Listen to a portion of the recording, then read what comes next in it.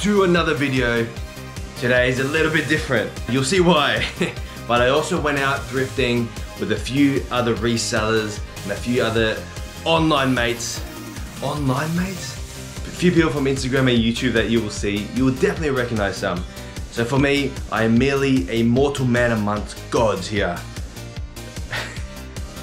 You'll see that this video is a little bit different because number one, I actually filmed it about three weeks ago. So the footage is not recent, it's from a while back and it's also from across two days. So this video, there's two parts in it. Uh, part one is day one, part two is day two. Um, you'll see who I thrifted with very soon.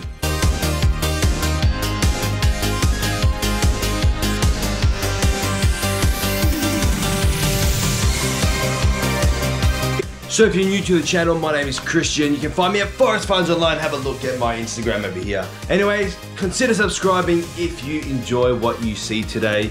And if you're already a subscriber, make sure you like the video, give it a thumbs up. That really does help me. Thank you so much for 400 subscribers. I reached 400 subs. I couldn't be more grateful. Anyway, that's enough of me talking. Play the intro.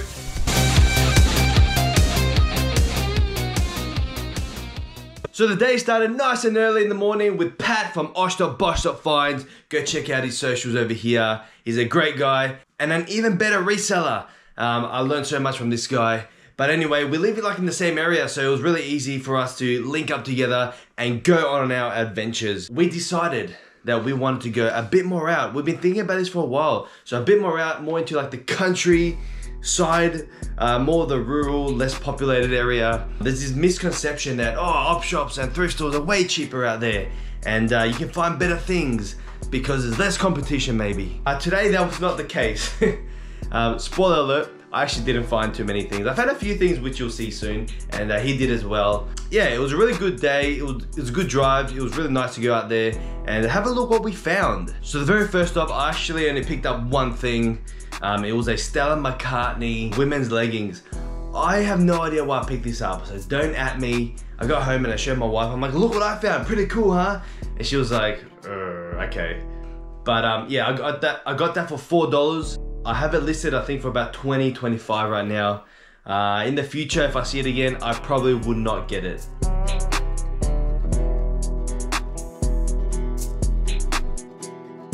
Church country op shops are not hitting it for me today. But Pat's finding some good stuff. But uh, yeah, I love finding new op shops, ones I've never been to. Like this one. It's just fun visiting them. Everyone's friendly. As we pulled up into Warragul, we actually met up with another reseller. You will know who he is. His name is Uncle Wayne's Flips. Here is his YouTube, here is his Instagram. Go follow him if you don't already. He actually has a really cool movie channel as well with a bunch of other guys there. Uh, I think they do like a live show every Monday. So if you're into movies, go check that out as well. Link is in the description. Anyway, we met at Vinnie's in Warragul with Uncle Wayno and uh, he straight away, he came up to me, he's like, is this any good? It was a vintage Umbro Chelsea jersey, new with tags. So great find over there. But I actually didn't really find anything except one thing. Have a look here what it is. It's a vintage, I think late 80s, early 90s, um, made in the USA hoodie. I did pay $8, which is not something I normally do. I was surprised it was actually that expensive. Um, it was a large size. It was pretty cool. I like the design, how simple it was. I like the green. Anything green is my favorite. I'm just drawn to green things. And but I did end up purchasing it. I am expecting maybe to get about 30 bucks for it. Um, possibly going international to the US because that's where it originally came from. Oh, I'm also holding up this piece of paper. I wrote down a few things that I picked up at, at what op shop um, or thrift store that we went to. There's a lot of X's. That just means I didn't find anything at any of the op shops that we visited. Uh, sadly. After Vinnie's, we popped into a Red Cross. I didn't pick anything up, but there's this brand called Ridgeline of New Zealand, I think it was, that uh, I've found that a lot more people are actually starting to wear it. Something I like to do when I go out, you know, to the shops or out into the city or whatever, I actually like to look at what people wear. It kind of gives me an idea what the current fashion is like and what brands people are looking for at the moment. And that helps me when I go out to thrift stores um, or where I source other places to see uh, what I could pick up to sell. Or, and this Ridgeline of New Zealand brand, it's like a hunting brand. I've been seeing a lot of people wear it lately, like not to hunt, but just for normal fashion. So quite interesting. I think it's been around for a while. A few people have already sold it, um, and I've sold it myself. I think actually in my last, not last, the one before that, um, trip to the thrift, I actually picked up a Ridgeline of New Zealand, like a camo long sleeve, and that's all pretty quick as well. So definitely, I'm gonna start looking for this in the thrift shop. I kind of regret not grabbing it. It was a bit pricey though, but I think it would have been alright. Valley Seconds thrift shop. I think that's what it was called. I love coming here. This is actually one of the first thrift shops like I went to when I started reselling like properly and serious in 2020. So it was good to be back. It hasn't really changed a bit. I did find probably my best finds of the day here. Have a look what it is. So poking out of the cubicles, I see this um, this graphic, and I know straight away from the head of a dinosaur that it's Jurassic Park. And uh, I've never saw Jurassic Park bedding before. So I picked it up and then I find another one and then um, later on I find another vintage uh, bedding or Doona cover which is Aladdin, uh, vintage Disney Aladdin. So I've already sold the Aladdin uh, Doona cover. It's over here. I've sold Aladdin twice. I sold it a couple years ago for around the same price. So that's definitely a bowler to keep an eye out for, but I don't think it's too common to find it. The Jurassic Park, I do have it listed still. I'm surprised it hasn't had as much interest, especially uh, yesterday was actually the 30th anniversary of Jurassic Park. So I don't know, we'll see. But I'm sure, I'm pretty confident it will sell sometime soon. Hit up a few more op shops. Some of the other guys that picked up a lot of DVDs and all that stuff they're into. I don't really do DVDs or media at all. I do have a quick little look, but I don't properly research. But we went to this other op shop. Um, it was like a recycle center, I think it was called.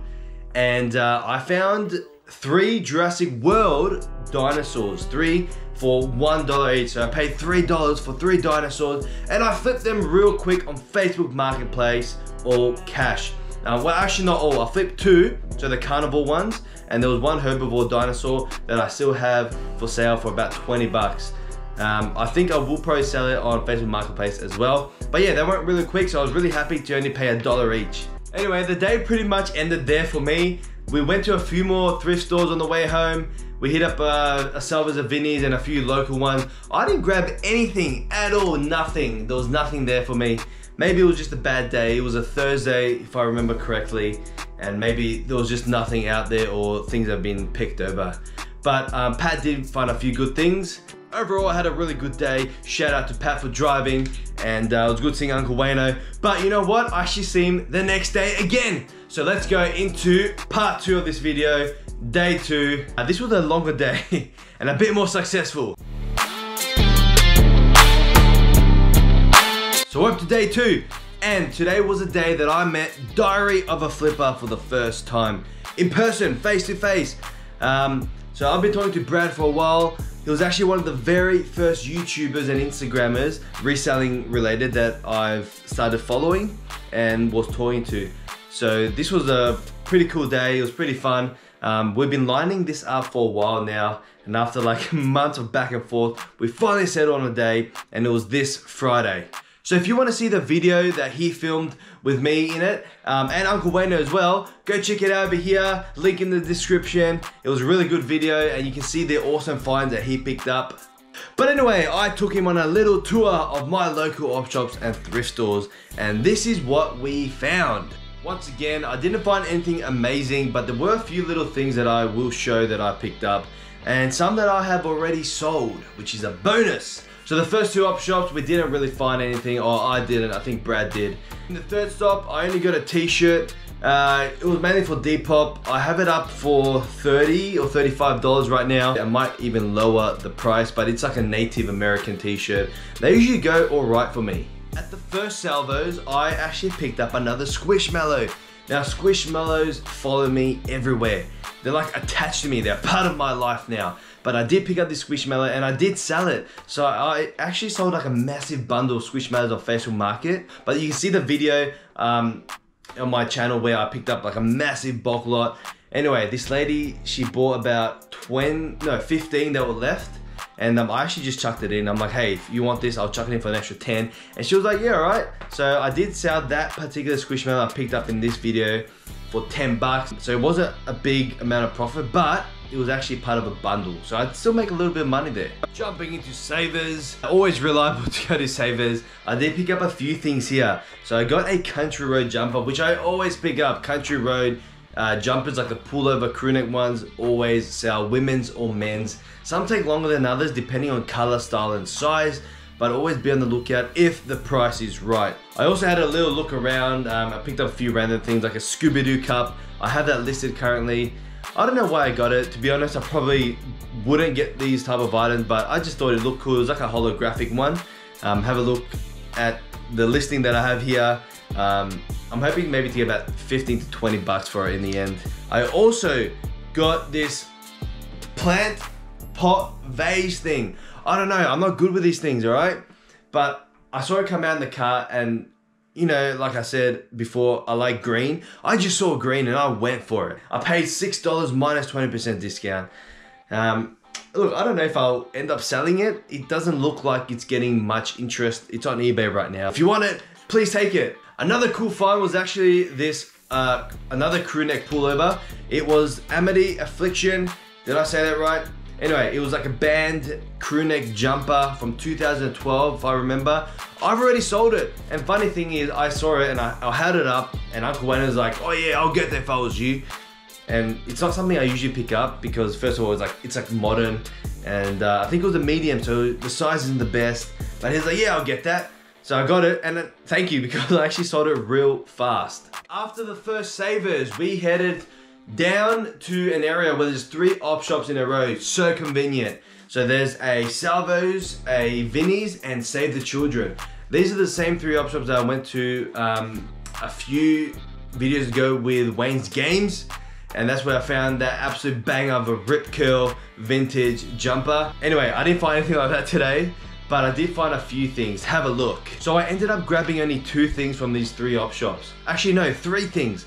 Um, the first two things were a Reece Plumbing t-shirt. I hate saying bread and butter, but the but the bread and butter t-shirts, uh, they always go for about 30 bucks, and there were only four, um, I believe, from Vinnie's that day. So I got them for four bucks each, and I, I've sold them maybe like six, seven, eight times already. So yeah, pretty good grabbing those. They're similar to like the Bunnings clothing. They sell pretty fast. I, I don't think they're as good, good as the Bunnings t-shirts and hoodies, but they are still good to pick up if they're cheap enough. Now, if you follow me on Instagram, you will know that I love my plush toys. Some people might even call me the plush king. but I picked up a tiny little plush. Have a look at the photo here. It's a tiny little Saddle Club plush toy. Unfortunately, these actually don't sell for much. I only picked up because it was 15, oh sorry, 50 cents. It was 50 cents. I still have it listed. I'm happy just to like get rid of it for like 10 bucks to be honest. I probably wouldn't get it again. I only got it because it's quite unique and it had the tag still.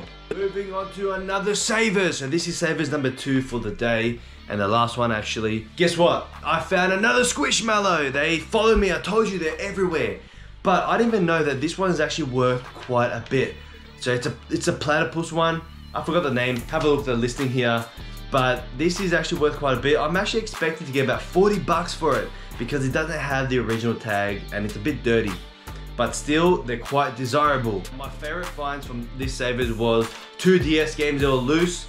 I didn't pay too much for them. I think one was $15 and the other one was maybe 10 and I had a, I had the 20% discount as well. Anyway, I did sell the Animal Crossing one. That went pretty fast, but the other one was a Pokemon game. Uh, I'll show you the listing again over here. I still have that for sale but for that price it wasn't too bad. I haven't played that one in a long time, so I might even play it uh, before I sell it. I'd just like to mention over here, I'm kind of building a wall of picture frames of just items and nostalgic things from my childhood and things that I resonate with, if that makes sense. I did pick up a Batman Begins movie poster that I haven't put up yet, but I'm gonna put it around here somewhere.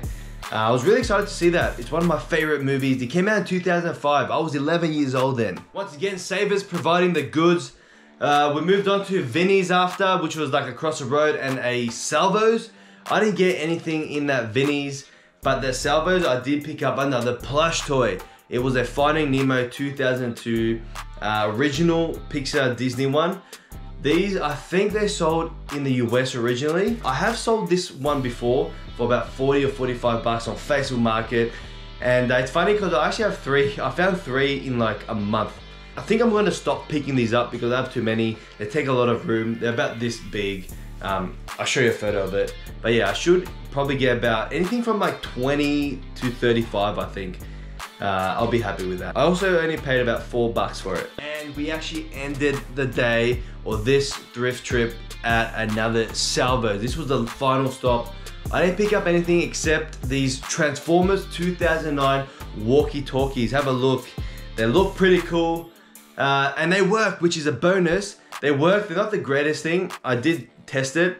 I made an Instagram story on it, it was pretty funny. I got my wife to go like to the other end of the house and try use it. And it wasn't that good. So if you wanna see any of that comedy, go follow me on Instagram. Uh, I don't know if you call it comedy. Anyway, go follow me on Instagram there. I like to test stuff and even sell things on my stories. Back to the salvos there. I didn't grab anything except that toy. And that was it. In the end, it was a very good day. A very good two days actually. And now I'll leave you with a bit of footage that uh, Brad took and myself at the end of the day. I actually found like a really cool vintage AFL uh, Bulldogs shirt that I gave him, that I sold to him. He actually gifted me a 90s Carlton Blues, which is my favorite team by the way in the AFL, uh, a poster, like a hardwood poster. So I'm gonna find a spot for that somewhere. You also see that I did pick up a few wrestling plush toys for him. Uh, if you want to know more about that and look at more of that footage, go to his channel, go to that video where he talks a bit about it more. Huge shout out and thank you to the boys that came on. I love meeting up with other people. It's just more fun. I find it fun when I actually have someone to talk to, not just the camera. It was a good day, it was a fun day, and I'm definitely on the lookout to thrift and go more adventures with other resellers. There's already a few lined up, so you'll definitely see those videos come out very, very soon. Before I sign off, I just want to leave you with a little message. Reselling can be often quite lonely. It can be quite isolating, especially when you go out thrifting or sourcing by yourself. So I want to encourage you to reach out to those other YouTubers or even Instagrammers. Uh, if there's anyone you've been talking to for a while, reach out. If they're in your area, maybe ask you for a little thrift, grab a coffee or something. I think it's really rewarding when you meet up with other people, you learn a lot and you just have a great time. This is the yeah. first of many though. I reckon I'm gonna come down your way. Yeah, let's do next it. Next time? Part two. Part two coming Part soon. Two. All right. Thanks for watching. I'll see you next time.